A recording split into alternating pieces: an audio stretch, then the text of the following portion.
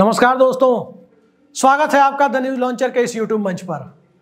आज 6 मार्च है और 6 मार्च की सुबह जब हम आपसे मुखातिब हैं, उस वक्त तक राजनीतिक तौर पर सबसे महत्वपूर्ण माने जाने वाले राज्यों में से एक पश्चिम बंगाल में इंडिया गठबंधन के अंदर सीट शेयरिंग फाइनल नहीं हुई है। कांग्रेस और टीएमसी, यानी ममता बनर्जी की पार्टी टीएमसी, तृणमूल कांग्रेस और कांग्रेस पार्टी के बीच गठबंधन को लेकर कभी बातचीत आगे बढ़ती है तो कभी पहिया वही रुक जाता है। आखिर ऐसा क्यों हो रहा है? रुकावट क्यों है? और इस रुकावट के लिए खेद है कि तरह का स्लोगन आगे भी लगता रहेगा क्या? चुनाव सर पर है। हफ़्ते दस दिन में चुनाव का ऐलान हो जाना है। लेकिन इस परिस्थिति में जिस राज्य में 42 सीटें हैं और जिस राज्य में 42 सीटें हैं, वहाँ भारतीय जनता पार्टी अपनी सीटों को एक से बढ़ाकर दो और दो से बढ़ाकर 18 तक पहुँच चुकी है। और अब जब भारतीय जनता पार्टी के लिए हालात अनुकूल नहीं है, उस परिस्थिति में भारतीय जनता पार्टी के लिए राज्य में लूप होल छोड़ने जैसी स्थिति, जिससे कहीं वो फिर से 18 या 16 पर ना पहुँच जाए, ये हालात क्यों पैदा किए जा रहे हैं? आखिर कौन है? किसकी वजह से पश्चिम बंगाल में कांग्रेस और टीएमसी के बीच बातचीत रुकी हुई है। इंडिया गठबंधन में जैसा कि आप जानते हैं, कांग्रेस पार्टी भी है, तृणमूल कांग्रेस भी है, लेफ़्ट पार्टियाँ भी है, जिसमें CPI, CPM, Forward Bloc, RSP सभी हैं। लेकिन मोटे तौर पर पश्चिम बंगाल में जो हालात बन रहे थे, उसमें यही दिख रहा था कि जो लोकल बॉडीज के इलेक्शन हुए, भारतीय जनता पार्टी बहुत पीछे खिसकती दिखी और लेफ़्ट फ्रंट अपना ग्राउंड गेन करता हुआ दिखा, अपने आधार को वापस पाता हुआ दिखा। उसके बाद लगने लगा कि पश्चिम बंगाल में ममता बनर्जी और लेफ़्ट फ्रंट के बीच ही बयालीसों सीटों पर मुख्य मुकाबले के हालात पैदा हो सकते हैं। या फिर नंबर दो की पोजीशन के लिए अधिकांश सीटों पर भारतीय जनता पार्टी और लेफ़्ट के बीच कसम कस हो सकती है। अब इसमें कांग्रेस पार्टी को तय करना था कि वो लेफ़्ट के साथ जाए या टीएमसी के साथ जाए। कांग्रेस पार्टी की तरफ़ से तमाम तरह की कोशिशें हुई। भारत जोड़ो न्याय यात्रा जब राहुल गांधी लेकर निकले और जब वो यात्रा पश्चिम बंगाल में आई, उस दौर में योगेंद्र यादव, जो एक जमाने में सेफोलॉजिस्ट हुआ करते थे, योगेंद्र यादव राहुल गांधी के साथ चल रहे थे। और योगेंद्र यादव ने अपनी तरफ़ से कांग्रेस और टीएमसी के बीच के डेडलॉक को खत्म करने की कोशिश की, लेकिन वो हो नहीं पाया। सवाल यही है कि योगेंद्र यादव ने कोशिश की। सवाल यह भी है कि इंडिया गठबंधन की बैठक के दरमियान जब ममता बनर्जी ने ही कांग्रेस पार्टी के नेता, इंडिया गठबंधन के अध्यक्ष, दलित नेता मल्लिकार्जुन खड़गे को देश के अगले प्रधानमंत्री पद के उम्मीदवार की तर, के तौर पर इंडिया गठबंधन से पेश करने का प्रस्ताव रख दिया। फिर अलायंस क्यों नहीं फाइनल हो रहा है? भरोसे का आलम तो यह है कि कांग्रेस पार्टी के अंदर से खड़गे साहब प्रधानमंत्री बने, एक दलित नेता प्रधानमंत्री बने, ये प्रस्ताव किसी कांग्रेसी की बजाय ममता बनर्जी ने रखा और अरविंद केजरीवाल ने उनका समर्थन किया। बावजूद इसके कांग्रेस पार्टी के साथ सीट शेयरिंग नहीं हो रही है। पिछले विधानसभा चुनाव को देखें तो टीएमसी अकेले लड़ी और ममता बनर्जी और लेफ़्ट फ्रंट के गठबंधन ने मिलकर चुनाव लड़ा। विधानसभा चुनाव में नील बटा सन्नाटा की स्थिति बन गई। लोकसभा चुनाव में भी यही स्थिति थी और उसके पहले के विधानसभा चुनाव में भी यही स्थिति थी। लेकिन अब भारतीय जनता पार्टी जब पश्चिम बंगाल में 2019 में उभर कर सामने आ गई 2021 में ग्राफ गिरने के बावजूद विधानसभा में भारतीय जनता पार्टी ने अपने लिए प्रिंसिपल अपोजिशन पार्टी की हैसियत हासिल कर ली। तो उस हालात में, उसके बाद जो लोकल बॉडी के, पंचायत के म्यूनिसपैलिटीज के, उस इलेक्शन में जो लेफ़्ट फ्रंट आगे बढ़ता दिखा और और बीजेपी गिरती दिखी, दूसरे नंबर की पोजीशन के लिए जद्दोजहद की स्थिति बनती दिखी तो इस हालात के बीच कांग्रेस और टीएमसी के बीच तो बातचीत आगे बढ़ जानी चाहिए थी। चर्चा कई दिनों तक हुई कि अब बातचीत हो रही है, तब हो रही है, अब औपचारिक ऐलान हो जाएगा। जैसे यूपी में ऐलान हो गया, महाराष्ट्र में ऐलान होने की स्थिति करीब आ रही है, दिल्ली में ऐलान हो गया, बिहार में कभी भी ऐलान हो सकता है, गठबंधन में कोई दिक्कत नहीं है। चिराग पासवान आ भी जाए तो दोनों हाथ से स्वागत करने की स्थिति है बिहार में। लेकिन बंगाल में जहाँ से बात शुरू हुई थी, जहाँ से वार्ता शुरू हुई थी, वहीं पर रुकी हुई है। और ताज़ा अपडेट यही है कि बंगाल में कोई वार्ता न तो प्रस्तावित है टीएमसी और कांग्रेस के बीच, और न ही फ़िलहाल होती हुई दिख रही है। अब कब बातचीत होगी, कब सीट शेयरिंग होगी, ये टीएमसी के लोग और कांग्रेस पार्टी के लोग ही जानते होंगे। राहुल गांधी और मल्लिकार्जुन खड़गे, जब भारत जोड़ो न्याय यात्रा के लिए बंगाल में थे तो जैसा मैंने बताया कि योगेंद्र यादव ने कोशिश की थी, लेकिन उन कोशिशों को पलीता कहाँ से लगा? यह सवाल सबसे महत्वपूर्ण हो जाता है। महत्वपूर्ण इसलिए भी हो जाता है क्योंकि अभी हाल ही में पटना में इंडिया गठबंधन की पहली औपचारिक रैली आप कह सकते हैं जो हुई है। उस रैली में कम से कम पड़ोसी राज्य बंगाल से ममता बनर्जी के आने की उम्मीद थी। ममता बनर्जी नहीं आई। पता नहीं उन्हें न्योता भी दिया गया या नहीं दिया गया। उम्मीद है दिया गया होगा लेकिन वो नहीं आई। और सवाल ये है कि क्या ममता बनर्जी को ये लगता है कि अकेले दम भारतीय जनता पार्टी को 42 सीटों वाले पश्चिम बंगाल में सोने पर आउट कर देंगी? या ममता बनर्जी को कहीं ना कहीं ये तो नहीं लगता कि त्रिकोणात्मक मुकाबले के हालात पैदा होने की वजह से भारतीय जनता पार्टी खुद ब खुद निपट रही है? या ये परिस्थितियाँ तो नहीं है कि कांग्रेस पार्टी और लेफ़्ट फ्रंट का गठबंधन जो पहले से चला आ रहा है वो ओवर कॉन्फिडेंट है? दरअसल हकीकत ये नहीं है। हकीकत ये है कि पश्चिम बंगाल कांग्रेस के एक बड़े नेता है। अधीर रंजन चौधरी। अधीर रंजन चौधरी को ममता बनर्जी और कांग्रेस पार्टी के बीच का गठबंधन बताया जाता है कि जो अंदरूनी सूत्र दावा करते हैं, जो बंगाल कांग्रेस के लोग नाम नहीं छापने और नाम नहीं बोलने की शर्त पर, उस कंडीशन पर जो सूचनाएँ साझा करते हैं या टीएमसी के लोग, वो यही कहते हैं कि अधीर रंजन चौधरी एक रोड ब्लॉक की तरह इस गठबंधन में बने हुए हैं।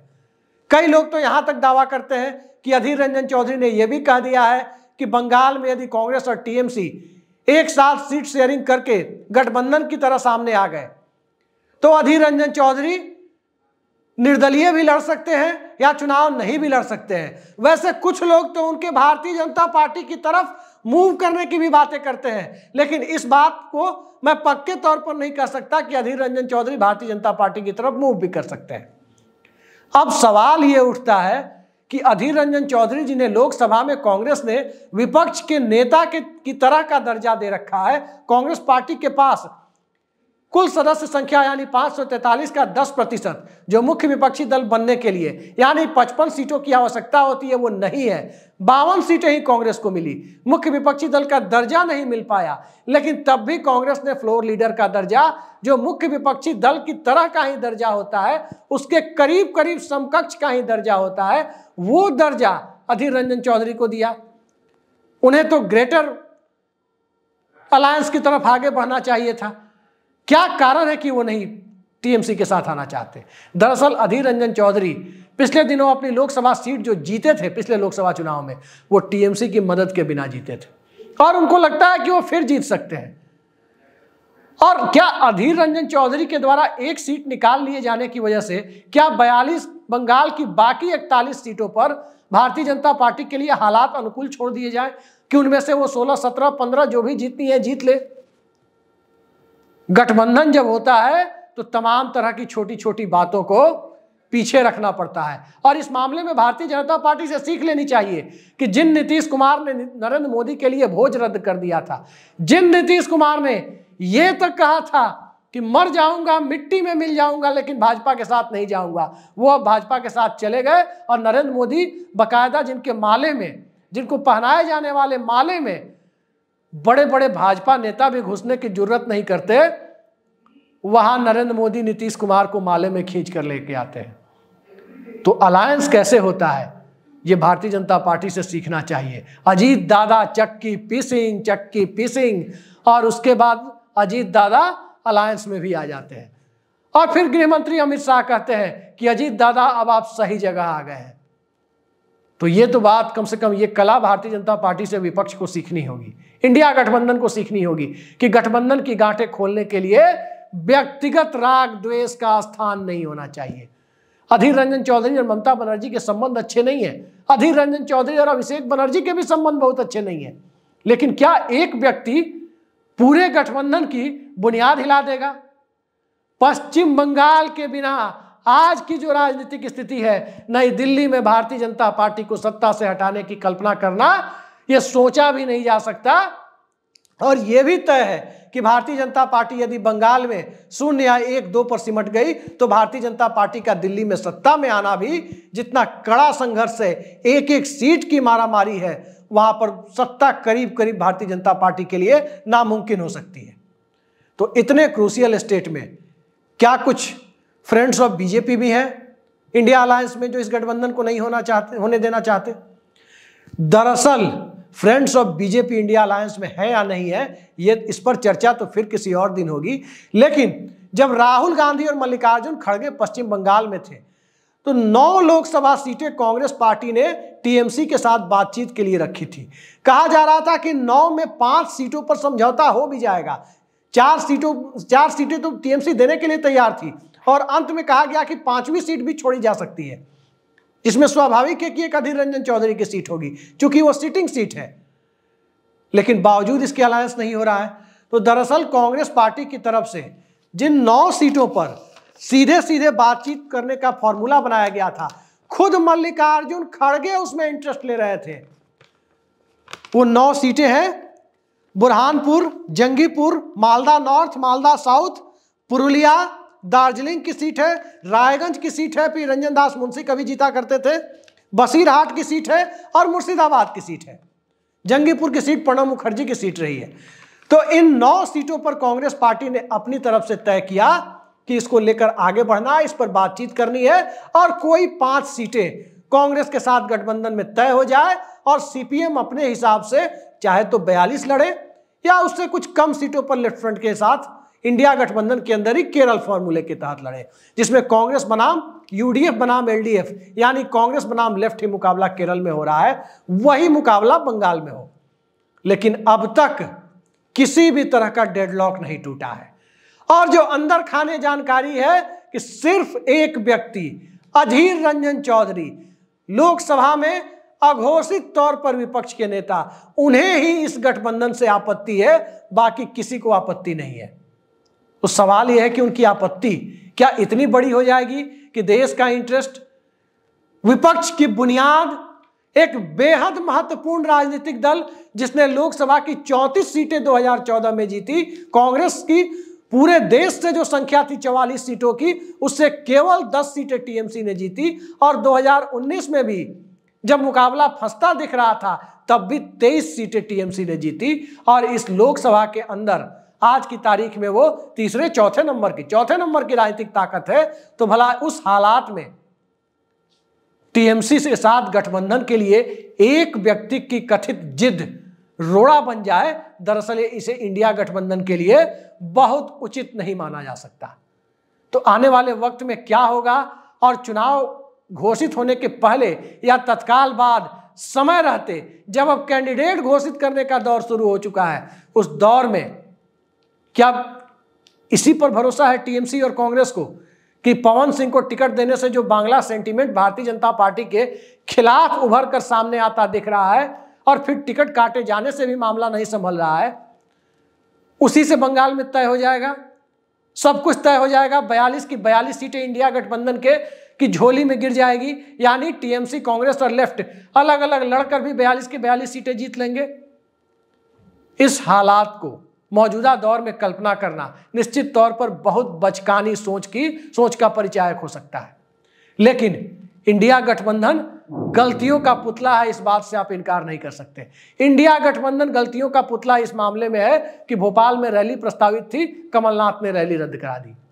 इंडिया गठबंधन गलतियों का पुतला इस मामले में है कि आज तक कैसे राजस्थान, मध्य प्रदेश, गुजरात और छत्तीसगढ़ जैसे राज्यों में चुनाव लड़ना है, जहाँ इक्यानवे में अट्ठासी सीटें बीजेपी और उसके अलायंस की है, केवल तीन सीटें कांग्रेस की है, अब तक कोई कंक्रीट स्ट्रेटजी वहाँ बनती हुई मुझे तो नहीं दिखाई दे रही है, किसी पत्रकार को भी नहीं दिखाई दे रही है।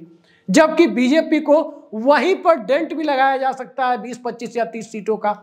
तो भला बंगाल में अलायंस को लेकर के इतनी सुस्ती है, और सुस्ती से ज़्यादा व्यक्तिगत राग द्वेष, व्यक्तिगत लाइक्स और डिसलाइक्स ये पसंद बनाया जा रहा है तो आप अंदाज़ा लगा सकते हैं कि व्यक्तिगत पसंद और नापसंदगी, इन दोनों के आधार पर कभी गठबंधन नहीं बनता और गठबंधन बनेगा नहीं तो कामयाब कैसे होगा?